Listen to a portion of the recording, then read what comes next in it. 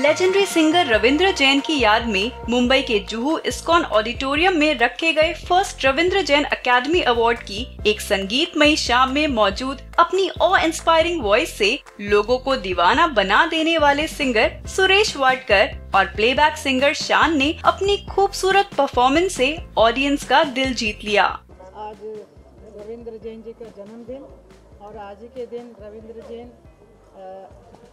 Academy award दिया जा रहा है। ये एक नया इवेंट शुरू किया है उनकी मिसेस दिव्या जी। और मैं उनको बहुत बहुत बधाई देती हूँ। और दादा जैसे कलाकार आज तक हुआ ही नहीं है। ऐसे एक बहुत बड़े कलाकार उनके द्वारा उनके नाम पर जो अवार्ड अभी दिया जाने वाले दे रहे देना शुरू किया है वो बहुत ही बढ़िया काम है।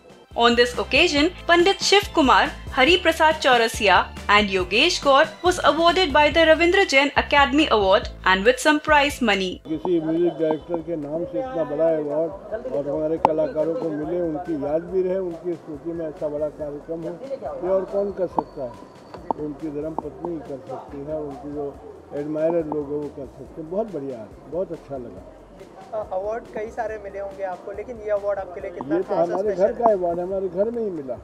हम भी तो मैंने बताया ना कि मैं तो फ़िल्म इंडस्ट्री में पैदा हुआ बम्बई में। पंडित शिव कुमार शर्मा के एब्सेंस में उनका अवार्ड पंडित हरि प्रसाद चौरसिया को दिया गया। यहाँ मौजूद सभी लोग रविंद्र जैन को याद करते हुए बहुत खुश नज़र आए और सभी ने इस शानदार म्यूजिकल इवनिंग की जमकर तारीफ़ की।